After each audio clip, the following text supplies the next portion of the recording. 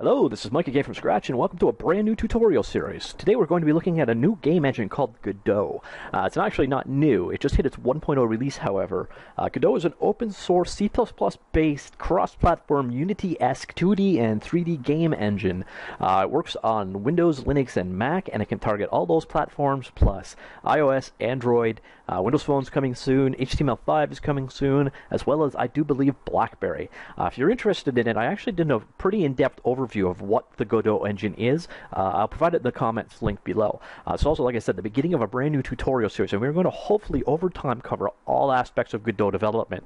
Um, there will be a table of contents links at the bottom, being that this is the very first actual tutorial, and not a very big table of contents yet, but bear with me and we will fill it out. Uh, today itself, we're going to jump right into Godot, uh, look at creating our first simple application. Of course, since this is a tutorial, and at the first tutorial, we are, of course, going to start with Hello World. Uh, we're going to make ours a little bit more interesting than that, but it will show you uh, the basics of how a Godot program works, uh, how to navigate the UI, how to go ahead and get it, etc. Uh, for every tutorial in this series, I'm actually going to do a corresponding text tutorial, as long as it makes sense. So there will be a text tutorial and a video tutorial for every single stage. So if you prefer text, you can go to gamefromscratch.com and see it there. You can see right here in the background, this is actually, I've already published the text version. I'm doing the video after the fact in this case. Uh, it's a fairly in-depth, a lot of screenshots, you can figure out where you need to go. Okay, I went a little too far. Uh, but if you go to Game From Scratch, again, the link will be in the bottom to the actual corresponding text tutorial to go along with it. We'll cover more or less the same materials. Uh, I tend to blabber a bit more during the video, so you'll have a bit more, um, probably detail in the video version, uh, but sometimes it's easier to follow along or for reference to use a text version, so that's why I'm providing both. So anyways, let's jump right in with Godot. Um, I said it's open source, it's completely free, so let's go ahead and download it. It's pretty impressive. It's a very self-contained package. You just come in, and pick your platform. Uh, in this case, I'm on 64-bit uh, Windows, so I'm just going to download that executable here. And there we go, download it. Uh, while we're still on this page, I want to point out a couple things. They also have a Collada uh, exporter for doing 3D models. We'll touch on that much, much later down in the series. Uh, exporting templates as well for uh, sending them to various platforms. We'll talk about that later as well. But the thing that you should really be aware of here is the Godot demos. Uh, there's a lot of demos included with this. One thing that kind of is the, the negative point for the Godot engine, and part of the reason why I'm doing this tutorial series, is the uh, help material isn't great. there's not a ton of it. the getting started stuff isn't incredible, but there is a lot of demonstration stuff, including uh, arts and assets to work with. Uh, so when you're just getting started, you know, beyond this tutorial series, of course, uh, if you want to get a little bit more in depth or try to figure things out yourself, grab these demos and definitely take a look. All right, so anyways, now it's been downloaded. Let's go ahead and just load it up. Nice thing is there's no installer, there's nothing. The Godot uh, program is also a project manager, and when you open it and create it, boom, here is your starting screen. Uh, so again, no installation, just bring it down and run it. So you can run this from a USB drive if you want, kind of handy that way. Uh, the UI is consistent across uh, all different platforms, which has advantages and disadvantages. It's not a native UI, uh, but the behavior is consistent across Mac, Windows, Linux. So uh, a bit of an up, bit of a down. Where here you come to your, your basic project manager, and here, first off, if you download these uh, that zip file with all the uh, the demo projects, you're going to import them right here. But what we want to do is actually go ahead and create a new project. So just click New here, and you got to pick a path, a place to save the project. We'll go ahead and make it here. I'll create a folder called Do Demo, like so, and everything's going to be in that folder itself. Let's go ahead and open that. So the project name comes automatically from the directory. And then when you're ready, just click create. Uh, so this will now, I've made your project. Now next time you load this up, all your projects will be um, tallied and displayed right here. Ditto as you start importing demos, uh, they'll all show up in a list here. So once you're ready, you can either just uh, double left click on this guy right here, or single click and then click edit and welcome to the Godot interface. I'm not going to go into a lot of detail how this works. If you want more of an overview of, of the, uh, the IDE itself, uh, take that uh, uh, walkthrough video I did earlier. You'll get a lot more detail or depth into what's included. But this is the basic Godot interface. This is where you will more or less live from now on. Uh, right now we're in 3D mode. These important, these tabs right here are important for uh, switching between your different modes. So your 2D editing, this is where you actually draw your world. Uh, 3D, same thing if you're working in 3D. Script, here's where you'll be editing your scripts. We'll come back to that. And here is where your help is available. Uh, if you've used Unity, this should all look very familiar. Uh, there might be a little bit of plagiarism going on. Um, up here, you got your uh, your control buttons: your play, your stop, your resume, open, uh, and then your scene and resource navigation here, resources, your files, etc. Uh, inspector is basically property viewer. Um, so let's go ahead and now that we've got the scene going, let's get things started. At the core of um, the Godot um, model or hierarchy is the node. You basically assemble your scene out of a hierarchy of nodes. So let's go ahead and create one right away. Like I said, we're going to make a hello world application. So we're going to start with a text node. Uh, in this case, it's called a rich text label. So what you do is you create a new node over here in the scene. So you tab between them here, but we want the scene selected, and you click here for a new uh, node. And then we want rich text label. As you can see, there are lots of nodes built in and you can easily create one yourself uh, using either GDScript, which is a Python-esque script, or C++. Uh, it's your choice. We'll, we'll cover C++ later on down the road, uh, but you can extend out of Node and add things to here like mad. But let's just go ahead and add our rich text label, this guy we want. So at the top, as you see, you can filter uh, by wildcard up here, and just pick rich text label and create. So over here, you see this is your world. This is your cutoff, um, your screen dimensions by default. And this is the node you just created. You can left click to drag it around, or you can grab control handles to resize it. Now what you'll see down here is there's this inspector view. This is what looks at all the configurable properties of that node. Um, Godot takes a somewhat component-based look, uh, so a node is made up of an anchor, a margin, a rect, uh, inherited from the control. It's inherited from canvas item, which has a visibility. It's inherited from node. So these are the different classes that um, this is the, basically the inheritance tree that the rich text label inherits from. So pretty much uh, canvas item inherited from node and control inherited from canvas item. And you can come through and change all of the various properties that are exposed. Uh, so instead of changing and resizing here, you can also set the values here or as you see as I'm editing here, the values are changing in the bottom right. So you can, you can set your properties in the inspector or you can set them over here. One thing to be aware of right off the hop though, and this is kind of annoying and hopefully it's something they fix, but if I come in here and do say 222, okay, it hasn't committed yet. So if I tab away, it doesn't set. So if you manually edit a property, make sure you hit the enter key so that it commits. But basically that is adding a text-based, um, our rich text label node to our game world. Let's put it back to the origin. And now we need to add some text to it. Oddly enough, the text property of this is not exposed, so we need to hook a script up to it. Script, you just basically collect the, select the node you want here, and I'll show you one thing quick, is you can actually edit in. So like, can, instead of that, I can come down here and say, um, my rich text label and change the name of the, the node within your scene. But now that we've got our node selected, we come up here and you hit this little guy right here, which is your script configuration. And this is going to create a new script or open the existing script, depending if there is one. There isn't one in this case, so this is bringing up the new script dialog. Um, it's going to automatically inherit the class that it is and brings up the language to write it in. Um, Godot is written to support multiple languages, but there is only one language GDScript that has been implemented. So perhaps down the road there could be a Lua or C Sharp, etc. in your language selection, uh, but in this case right now there is just GDScript. Uh, then the final thing you got to do is create a path for it. Uh, one thing to be aware of, and I'll show you right here when I create this new path, all of the resources are relative to your root directory. Uh, so anything you want in the file system, any art, etc., you need to bring them into that folder you created originally. Uh, in this case, I'm just going to go ahead and uh, put it. How did I do it in the text? Uh, I'm not sure. I'll show you this way anyway. So, so, we'll go ahead and create a folder. This is completely optional. You don't have to. Uh, but if you want to organize things a little bit more, you can. So I'm going to create the scripts folder like so. And then um, we'll call this guy my script uh, .gd. Now it's important, you have to add this .gd extension. Unfortunately, uh, it won't add it automatically. It'll just throw an error at you if you don't do that.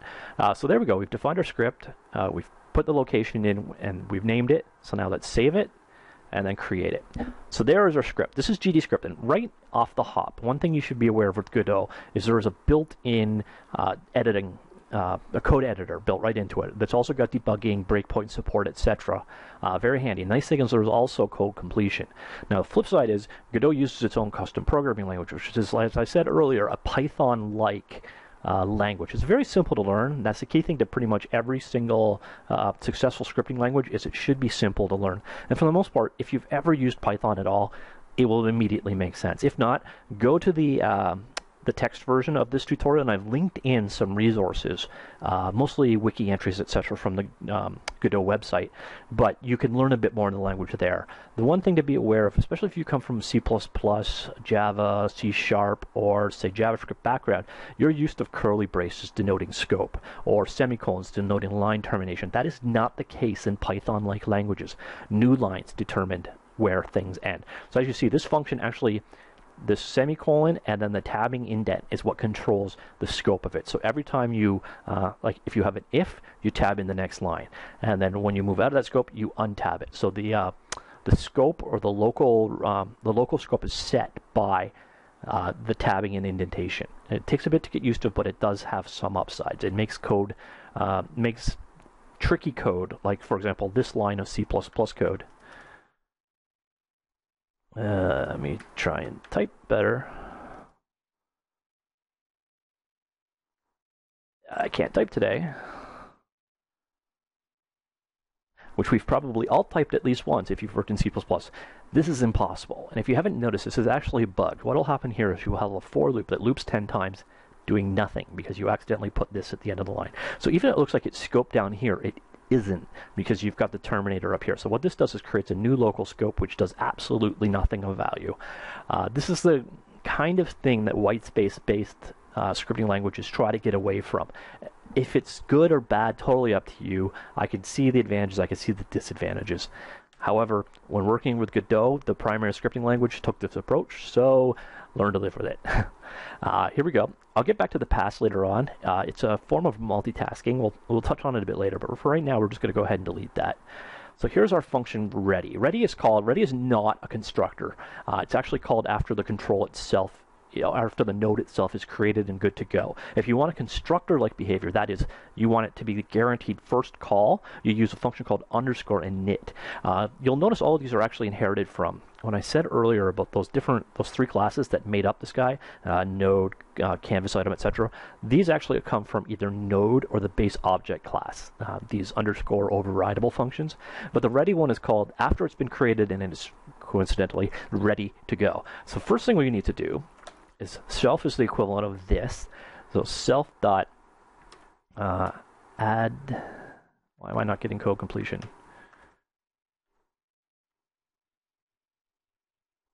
like so.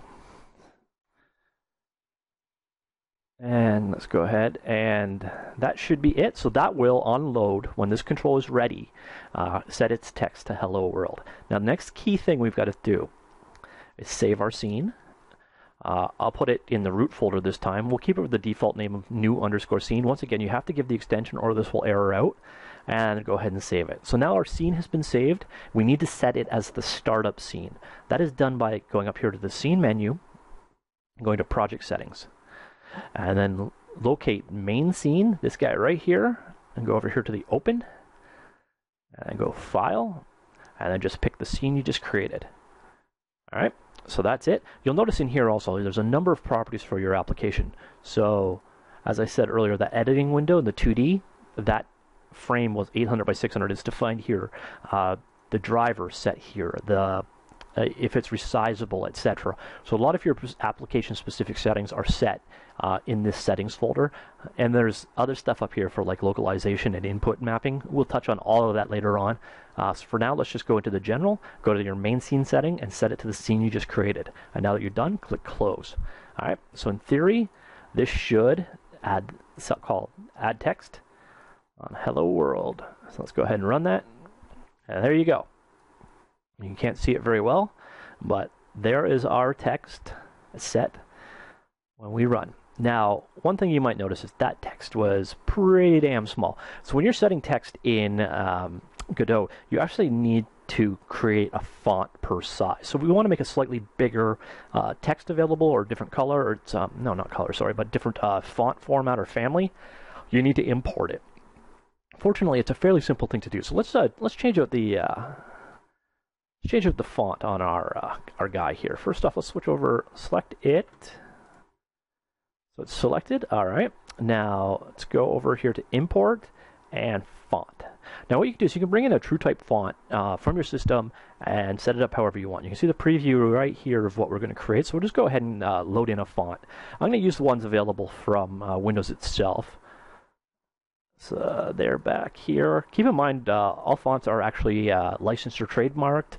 Uh, you can't just use one, even though people do it all the time. Uh, there is a copyright. People do license these fonts out to use them. There are thousands of free and open source ones available online. Uh, just be aware that you can't distribute a product using a font if you don't have a license for it, like what I'm about to do. so I could not distribute this application legally because I don't have a license to the particular font. But if you're using Windows under the Windows slash fonts folder, all of your system fonts are registered there. So I'm going to go in here and grab the comic book font. And that's under, predictable enough, C. Uh, so comic here, there's, there's the italics form, etc. So comic.ttf, and just go ahead and open it. So now you can see the preview's updated a bit here. Now what I want to do is I want to change the font size a bit. Like so. There we go.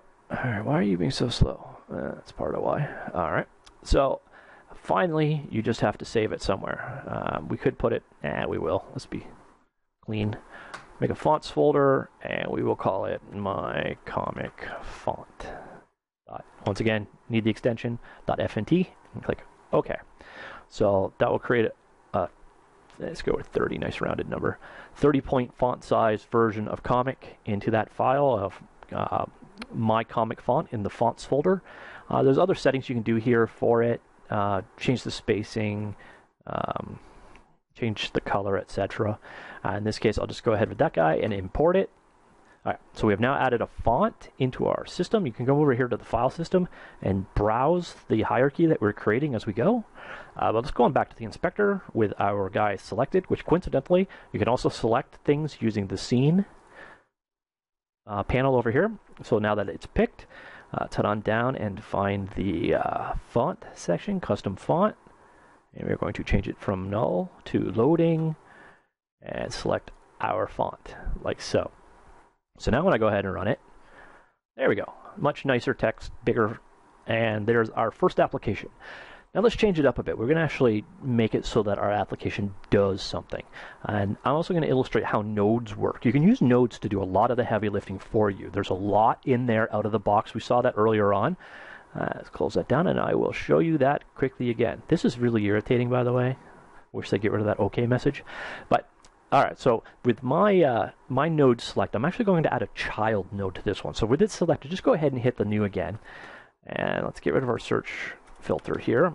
And what we want now, I'm going to show you here. A lot of this is for UI, so split controllers, buttons, scrolling, etc. But what we want is a timer.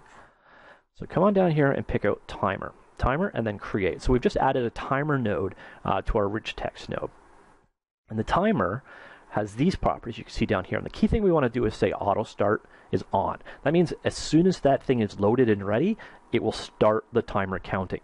Uh, the wait time up here is one second. So every one second, it is going to uh, so automatically start every one second it's going to do something uh, now the something part is key uh, there's an event system in uh, Godot, which we're about to take advantage of. A lot of times you would use it for um, UI controls, things like uh, a button was pressed or etc. So if you've done any Win- WinForm programs or auth programs or whatever, you've dealt with uh, like event handlers, delegates, that kind of stuff that handle you know on button press, etc. You can do the connections here, and that is using this guy, edit node connections. So the timer two selected, just kind of click on it, and here are the events that it emits. The key one we want is timeout. Timeout is just like JavaScript set timeout.